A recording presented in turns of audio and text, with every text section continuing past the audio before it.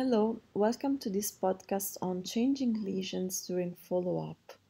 First of all, we have to clarify that we're going to speak about a follow up of high risk melanoma patients, of patients with multiple nevi, so long term follow up.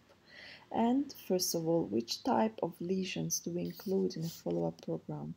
Uh, we mainly include flat lesions with a reticular or homogeneous pattern in dermoscopy and of course with no clear-cut melanoma features at the beginning of follow-up.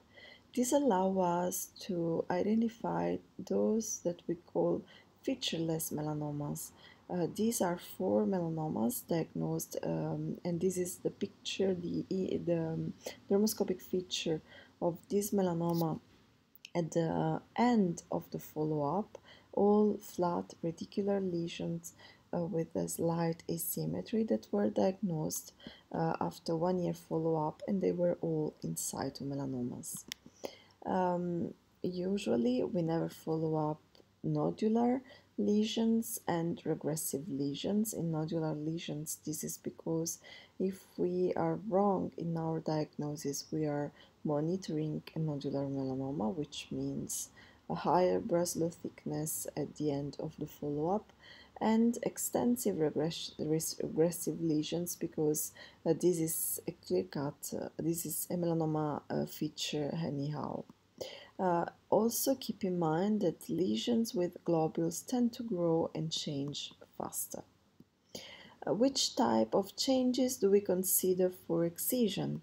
Um, Dr. Salerni with co-workers examined uh, the so-called two-step method of digital follow-up, analyzing which type of changes usually um, lead the excision of lesions under follow-up. And first of all, we have asymmetric enlargement, then changes in the dermoscopic structures, increase in the number of colors, and occurrence of regression structures, uh, also focal pigment modification.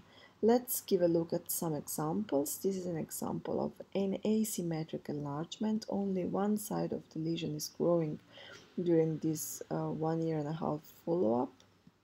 And this is the picture at higher magnification. This was an in situ melanoma.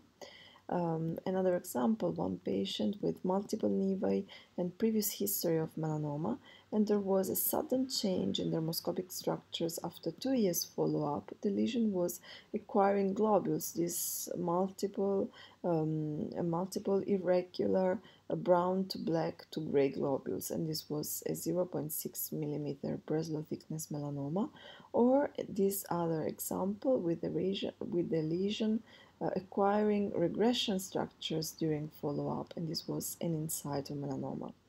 Uh, finally, we can have a focal pigment modification, like in this case here. Uh, as a general rule, nevi do not change significantly over time, and this allows us uh, to identify the, these changes as um, uh, important for excision and as um, melanoma and uh, uh, these lesions as melanoma. Uh, this is an example here of three nevi during a two-year follow-up. They didn't change significantly over time. However, sometimes some of the changes can be found also in nevi, like in this compound nevus that was asymmetrically enlarging uh, during follow-up and in fact also in the uh, study by Salerni and co-workers, focal changes in pigmentation and dermoscopic structures were present in both melanomas and nevi, but statistically more frequent in melanomas. Uh, asymmetric enlargement, regression, and changes in coloration were also more frequent in melanoma, but not statistically significantly.